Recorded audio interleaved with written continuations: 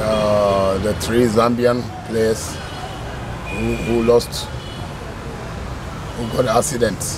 That was in 20, 2014. Yeah, namely the three of them, namely those who were seriously hurt. It's uh, Changwe, the second one is uh, Satchmo, and then Inyambi.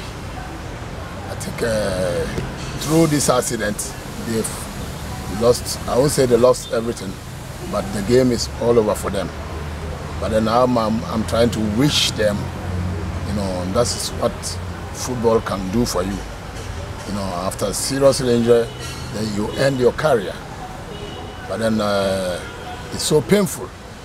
It's so painful that they, they lost their career through the accident. So I'm wishing them the best, you know, the best of luck and uh, good health. They should stay strong, you know. You know, in this world, uh, nothing impossible. So, and then uh, I'm trying to wish them, like, uh, to stay strong.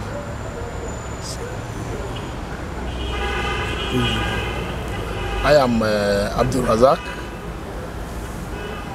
popularly known as the Golden Boy from Ghana. Wishing them the best of luck.